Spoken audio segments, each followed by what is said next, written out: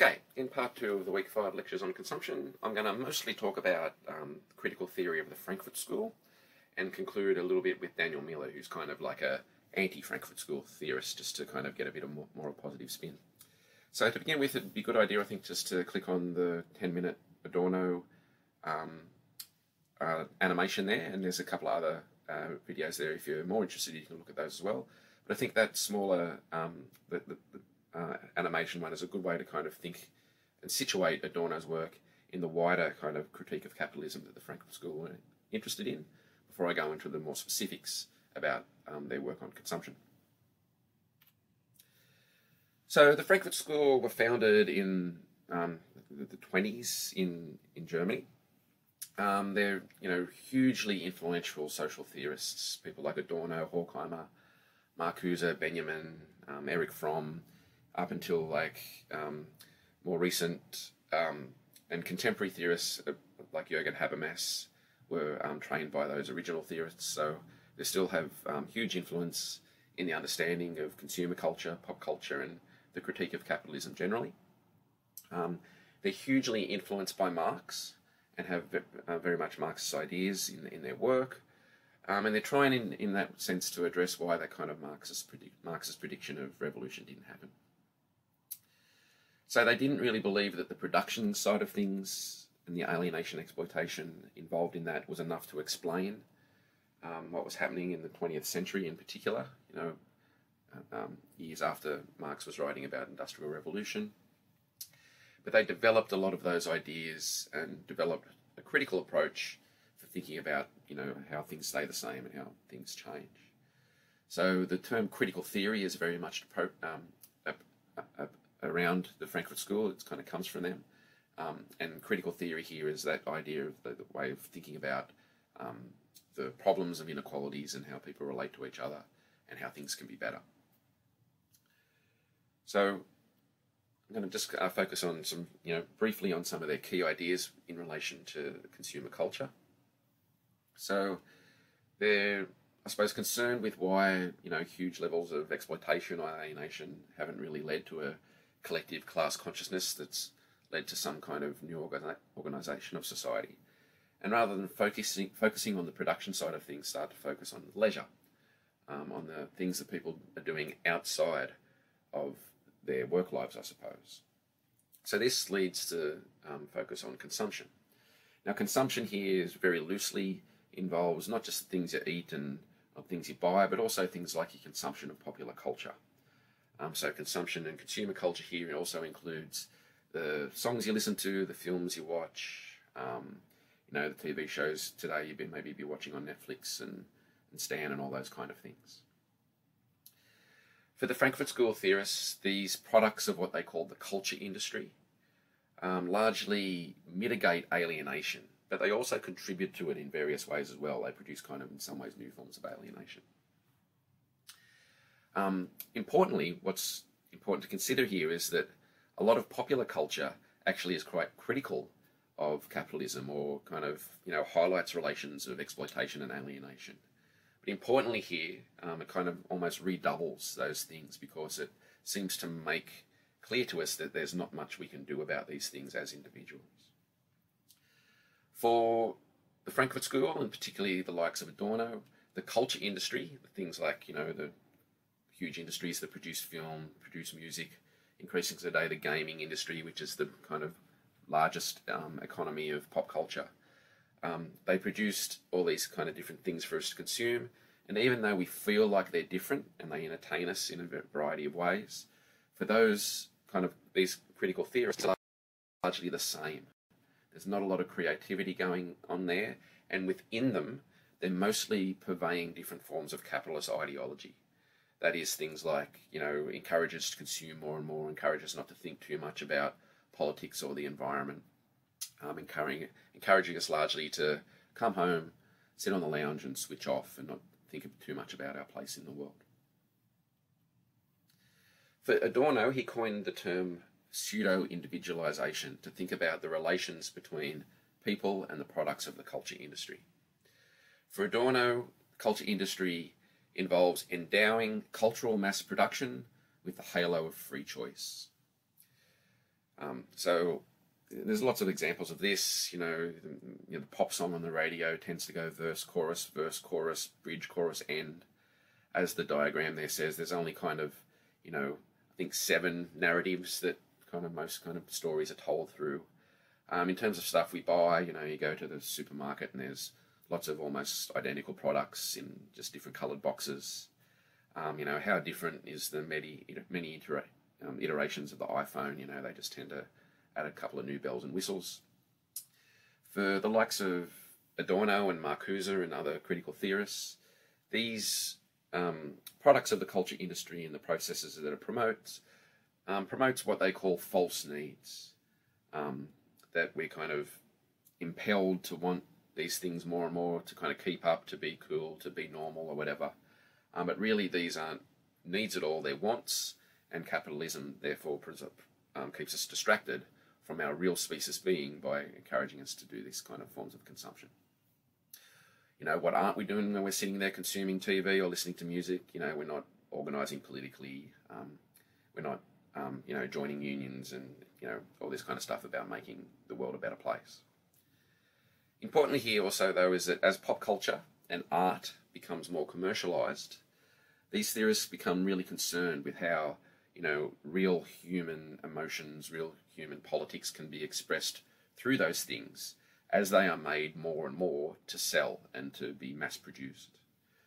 Um, so Walter Benjamin in particular was a key theorist there who argued that um, as the works of art become produced for reproduction, that is, you know, to be viewed in magazines or to be sold, um, the logic of art reproduces capitalist ideology rather than reproducing um, critique or emotional um, expression.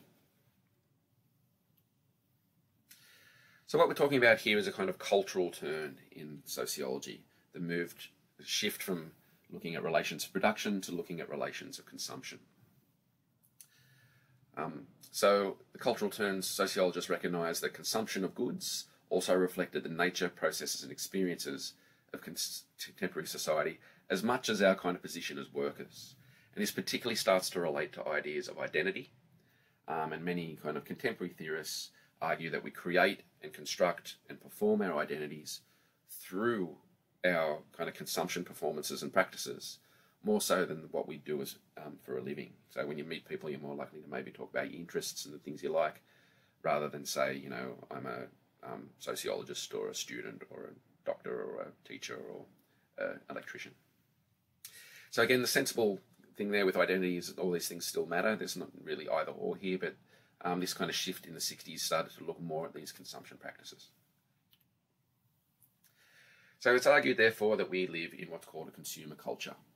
In this sense, consumption and consumption practices and again, it's not just the food and we eat and the clothes we buy, it's the, also the things we consume in terms of pop culture and um, doing our leisure practices. This is the prominent mode of social activity and organisation. This means, in terms of our self identity, what clothes we buy, what services we use, what music um, we listen to, what brands, what technology we use, is a key way of expressing ourselves. It becomes a way of life, a lifestyle. Um, much of the sociological analysis of this increasingly shows how people, you know, from different classes, different genders, different sexualities, different races and ethnicities, practice this consumerism in different ways, which kind of challenges the uh, Frankfurt School analysis in some ways.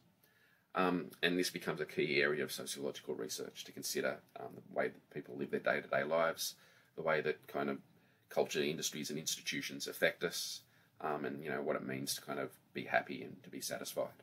That I'll talk about in the uh, fourth video today. So consumption practices in this sense become to define our sense of self.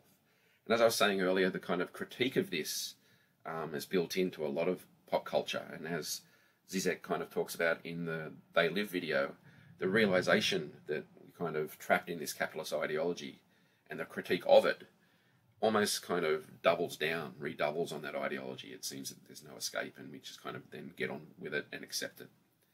So much of the more recent theorizing around this kind of stuff points out how people are increasingly cynical about consumption practices. They know the environmental um, destruction that it leads to, and increasingly know um, and realize maybe that much consumer practices are rather empty and vapid and don't actually provide us with much meaning or happiness. But there's kind of no alternative. People just kind of get snarky, um, become more and more ironic, and just kind of get on with it. Um, there's again lots of really interesting writing about what that means in terms of um, our lifestyles today. So, the critical theorists, very negative, don't have a lot of good stuff to say about the way that we live. Um, and what's important to remember with the critical theorists and Frankfurt School is he can't really make distinctions um, in pop culture or consumer culture and say that, okay, these things are better than others or whatever. So, um, you know, you can't kind of have a Frankfurt School perspective on the things you don't like and say that the things that you like are more meaningful and political because as far as the Frankfurt School goes, if it's produced in the culture industry, it's a product of ideology. An example that I would use here is a band that was really influential on me was Rage Against the Machine in the 90s, had all kinds of really political lyrics, actually had reading lists on the inner sleeves of their um, of their records um, and CDs, and you know I read a lot of those books. Was really influential on, on my own kind of progression. Um, but from the Frankfurt School point of view, that's still just pop culture. Really, you're not really doing anything there when you're listening to Rage Machine or going to a, a, gig other than kind of jumping up and down and having fun. Um, so it's a really kind of all-encompassing point of view, and they point to various forms of culture and art that are kind of anti-capitalist, but certainly popular stuff is not that. In terms of a kind of critique of that point of view, uh, a theorist, uh, Daniel Miller, who's an anthropologist, has kind of spent a whole career showing that how consumer culture and pop culture, it's not just that simple to write it off as ideology. He doesn't deny that um, pop culture and consumer culture plays an ideological role in similar ways that the Frankfurt School point out. But really, in our day to day life, um, the things we consume have all kinds of meaning. And for Miller, he relates this kind of to anthropological histories around rituals and the gift that, you know, throughout uh, millennia, that um, these things have always played a key role in the ways that people relate to each other and communicate and live. So, if you're interested in what Miller has to say, I really recommend the book The Comfort of Things. It's a beautifully written book. Um, essentially, it was a, a, long kind of term anthropological study in 30 households in the same street in London, um, where he was going in with um, research assistants and getting people to talk about um, the kind of personal meanings and attachments that they have to the things in their house and how these things often become expressions of themselves and importantly expressions to the relations to other important people in their lives. So while you know having a kind of huge spoon collection from all the places you've been around the world or a fridge magnet collection is kind of an expression of those experiences. Um, Miller says that there's kind of more going on um, when we think about our things and when we kind of um, have start to develop strong relations to things. So, two examples in the book that I think stand out for me is um, a kind of professional middle class mother who was deliberately taking her kids to McDonald's once a week, to the horror of all her other professional middle class mothers, and particularly to her kind of snooty parents. Um, one of the reasons she did this is that she enjoyed pissing off her parents because um, her parents annoyed her in terms of the way that she was brought up in a house with kind of really kind of antique furniture that she could never open the drawers of as a kid, so she deliberately therefore has IKEA furniture to make everything more easy for her kids.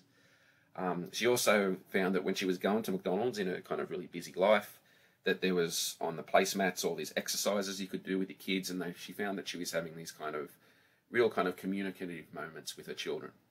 Um, there was like a, a, promotion with Snoopy dolls that were all from different countries around the world, so they'd collect the dolls and then they'd go home and then look up the country of the internet, and all of a sudden, this kind of trip to McDonald's was an educational experience. Another example in the book is a guy that was a former heroin addict that had a huge record collection and a, and a bunch of photos that he used as kind of almost a crutch to kind of, I suppose, try and stay off the drugs.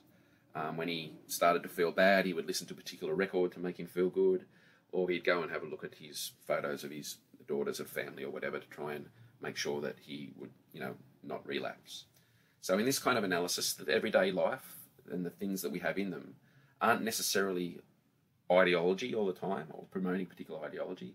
We can have kind of emotional relationship to these things that express a bunch of other relations, other, other, a bunch of other emotions that in Miller's work go beyond the ideological. So I think that's really worthwhile um, checking out if you want to kind of move beyond the pessimism of the Frankfurt School.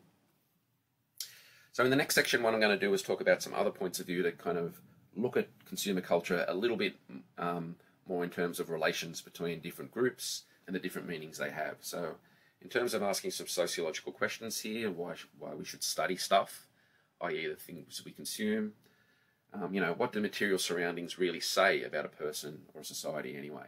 Um, what objects have you bought and you own? And what does they, what do these things say about you? What does the space that you live in look like?